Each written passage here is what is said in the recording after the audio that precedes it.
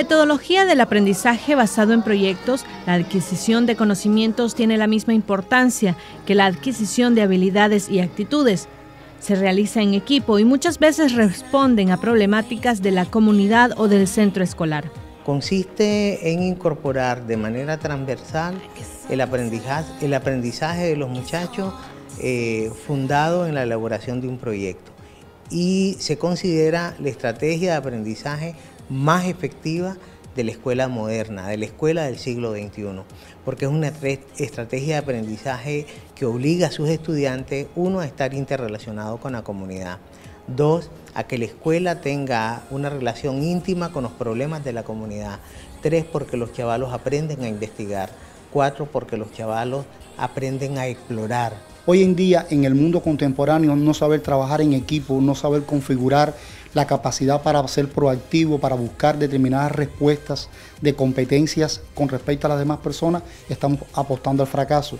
Es por eso que esta metodología de aprendizaje por proyecto se convierte en un nuevo reto en la metodología de Savannah. En Savannah International School se aplica esta metodología en la que de manera transversal los niños y niñas aprenden conceptos que perduran durante su desarrollo. Los niños logran aprender más con este tipo de metodología porque son las habilidades del siglo XXI. Hoy mismo en tu puesto de trabajo a ti, tú no, y tú no te acuerdas del teorema de Pitágoras. Tú ahora mismo no tienes por qué responderme una pregunta conceptual. Tú lo que tienes que tener son habilidades generales, habilidades que te permitan alcanzar procedimientos generales. Con estas metodologías, los niños tienen que aprender lo del currículo, lo del currículo base en Nicaragua, pero tienen que ir mucho más allá, porque tienen que desarrollar otros tipos de capacidades de aprendizajes que los busquen a ellos respuestas ante conflictos más reales. Los muchachos que hacen proyectos eh, para su comunidad, que hacen proyectos eh, para la escuela, eh, sienten una realización que no ocurre cuando nosotros memorizamos una cantidad de conocimientos y que solamente permiten alguna satisfacción individual.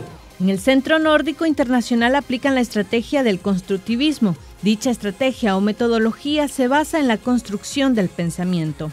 Tenemos el mismo programa eh, que se rige el Ministerio de Educación, pero nosotros llegamos a cumplir esas metas a través de actividades donde la persona está participando activamente y está entonces construyendo eh, el conocimiento.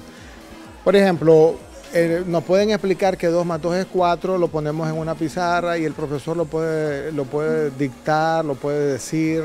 Eh, la pedagogía tradicional se, basa mucho en transmitir la información, ¿verdad? Pero para nosotros la forma en que la persona de una forma más fácil y más, y más sólida puede aprender el concepto de que 2 más 2 es 4 es si nos ponemos a jugar con ellos. Es aquello de eh, enseñar algo que sirve en la vida y no un conocimiento abstracto que eh, para qué te sirve de manera final. Mucho hemos escuchado a nuestros estudiantes, por ejemplo, decir, ¿y para qué me sirve el octavo caso de factorización? Es decir, los aprendizajes que sirven para la vida son aquellos aprendizajes en los que el muchacho logra identificar que lo que ha estado aprendiendo eh, sirve para resolver cosas cotidianas sirve para resolver cosas concretas. Ambas metodologías de enseñanza se aplican en algunos centros privados y poco en centros públicos en donde asisten la mayoría de los estudiantes nicaragüenses. Jorge Mendoza, director ejecutivo del Foro de Educación y Desarrollo Humano, explica que en el plan de educación ya contempla su implementación para mejorar la calidad educativa que nuestro país requiere. Nosotros em, eh, recomendamos que el Ministerio de Educación debe de, eh, en, su proceso de formación continua a los docentes, debe de dar eh, la capacitación adecuada para que ellos puedan manejar y transversalizar el aprendizaje basado en proyectos en todas las asignaturas de la currícula nacional. De lograr desarrollarse ambas estrategias en los centros públicos de nuestro país, la calidad de la enseñanza y el aprendizaje de nuestros niños y niñas daría un salto enorme. Para ello, además de un presupuesto mayor al establecido, que es de un poco más del 4% del Producto Interno Bruto, es necesario voluntad del Estado y una formación docente en base a estas estrategias. Michelle Polanco Alvarado, Voz TV.